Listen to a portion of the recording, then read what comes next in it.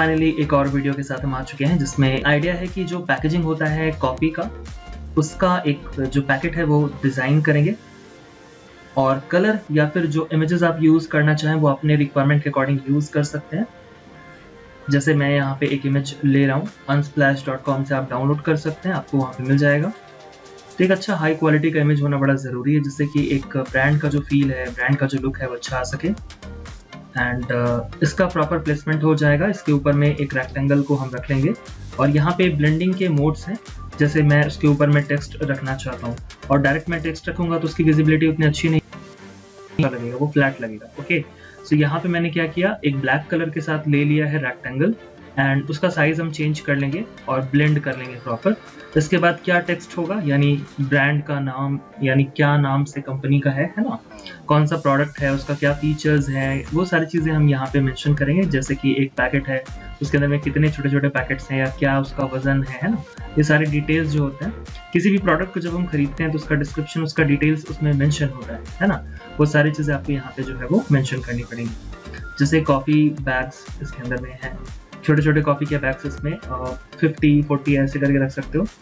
किस तरह का फॉन्ट यूज़ करेंगे? जैसे मैं यहाँ पे रॉबर्ट यूज़ कर रहा हूँ, आप इसे गूगल में फ्री में डाउनलोड कर सकते हैं, अगर आपके पास नहीं इंस्टॉल्ड है तो। मैंने प्रीवियस वीडियोस पे गाइज़ आपको बताया था पैकेजिंग वाले में कि कैसे इंस्टॉल किया जाता है किसी फॉन्ट्स को। तो जितने भी सीरीज़ में मैं इन दिनों वीडियो ला रहा हूँ, इन सभी को ज़रूर देखिए एंड अगर अच्छा लगता हो लाइक करें हमारे वीडियोज़ को।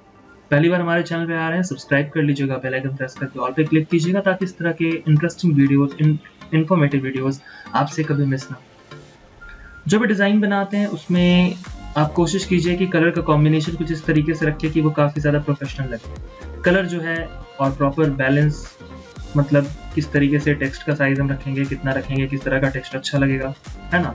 उस टेक्स्ट का कलर क्या होगा? ये सा, ये सारी चीज़ें कहीं ना कहीं बहुत ज़्यादा मैटर कर जाती है सिंपल डिज़ाइन को प्रोफेशनल डिज़ाइन में बदलने के लिए। और इसकी प्रैक्टिस करके इस चीज़ को कमांड में किया जा सकता है। So, यहाँ पे मैं मल्टीपल कॉपी कर ले रहा हूँ एंड इन सभी का सिलेक्शन करेंगे। मल्टीपल सिलेक्शन के लिए सिर्फ़ बटन होल्ड करेंगे या फिर आप रैंडम सिलेक्शन करना चाहते हैं मल्टीपल तो आपको कंट्रोल बटन जो है वो प्रेस करना पड़ता है लेयर में। ओके okay, यहाँ पे कलर सपोज़ मैं नन कर दे रहा हूँ। सिर्फ़ बटन के साथ फ़र्स्ट एंड लास्ट में क्लिक करेंगे सिलेक्शन हो जाएगा और इसे राइट क्लिक करके हम जो है ग्रुप कर सकते हैं या फिर आप ग्रुप में नीचे ऑप्शन होता है ओके सो ग्रुप हमने बना दिया एंड ग्रुप बनाने के बाद जो है एक साथ ही आ चुका है यहाँ पे। इसके पोजीशन को प्रॉपर सेट कर लेंगे। अलाइनमेंट डिज़ाइन का एक बहुत इंपॉर्टेंट एलिमेंट है। इस चीज़ पे आपको काम करना पड़ेगा। आपके किसी तरह के डाउट हैं, कोई नया वीडियो आपको किसी टॉपिक से रिलेटेड चाहिए तो नीचे मुझे कमेंट पे ज़रूर बताइए। अपने कमेंट्स वगैरह पढ़ता हूँ और अपकमिंग वीडियोस जो है उसी से रिलेटेड प्लान जो है वो करता हूँ। मेरे पास कई सारे कमेंट पहले भी आए थे कि पैकेजिंग से रिलेटेड कुछ इंपॉर्टेंट वीडियोस वगैरह या कुछ स्ट्रैटेजी टिप्स वगैरह डिस्कस करने के लिए। इसीलिए मैं इन दिनों कुछ पैकेजिंग से रिलेटेड जैसे बुक का कवर हो गया, फिर ये सारे पैकेजिंग से रिलेटेड हो गए। तो ये सभी मैं इन दिनों जो है वो आप सभी के लिए तैयार कर दे रहा हूँ। उम्मीद करता हूँ आपको अच्छा लग रहा होगा। इस तरह के और भी वीडियोस आपको मिलते जाएँगे। आप अपडेटेड रहिए चैनल को विज़िट करते रहिए और इन सभी से सीखिए प्रैक्टिस कीजिए। मैंने डिस्क्रिप्शन में सोशल मीडिया का लिंक दिया है, वहाँ जाके मुझे फॉलो कर लीजिएगा, जिससे कि जो भी मैं वहाँ पे शेयर करता हूँ, वो सब आप तक पहुँच सके। एंड ईमेल आईडी है, जहाँ पे जाके आप अपने वर्क मेरे तक भेज सकते हैं और फीडबैक मेरे से ले सकते हैं कि उसमें कहाँ पे क्या इम्प्रूवमेंट की ज़रूरत है। तो जैसे मैंने यहाँ पे क्या किया कि 8 ग्राम के 50 बैग्स हैं तो टोटल कितना हो जाएगा? टोटल कितना ग्राम ठीक? इस तरीके से हमने जो डिटेल्स है वो डाल दिया। बेस्ट बिफोर एक जो होता है कि कब तक आप इस प्रोडक्ट को यूज़ करना चाहते हैं तो वो सारे डिटेल्स आप यहाँ पे जो है वो दे सकते हैं।